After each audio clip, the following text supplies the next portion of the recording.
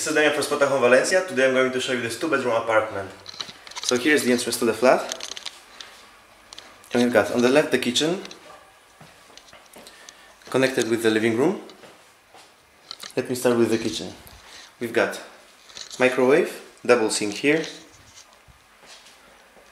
oven with electric stove. And as you can see the kitchen is fully equipped. You've got everything necessary for cooking in the house. is the cutting board. Okay. Got some here, coffee maker, all the plates and cups are here. And we also have got this fridge with the freezer. Okay, let's look at the kitchen. Also, there is a small table with two chairs right here. Moving on, we've got the living room. We've got a bigger table with four chairs, coffee table, very big comfortable sofa in front of this TV, and the view from the window is right here. Alright, so it was the living room. Now let's move on to the bathroom. Here is the bathroom in this flat.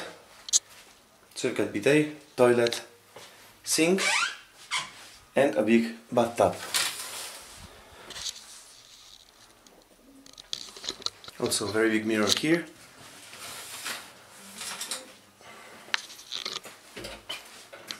And now, continuing, we've got the corridor connecting bedrooms, bedroom number one and bedroom number two, and the laundry room. But let's start with bedroom number two, bedroom, uh, sorry, number one. This is bedroom number one. Okay, so we've got double bed with bedside tables, the same view as from the from the living room. From the other side, looks like this. It's also got built-in wardrobe right here in this part. Yeah. Got some drawers on the right part and a lot of space the left part here and here. Alright, now moving on here, we've got bedroom number two. This one has got single bed, bedside table with a lamp, the same view, all the windows are the same side, and this built-in wardrobe here with chest of drawers as you can see here. And the last thing I'm going to show you is this laundry room right here.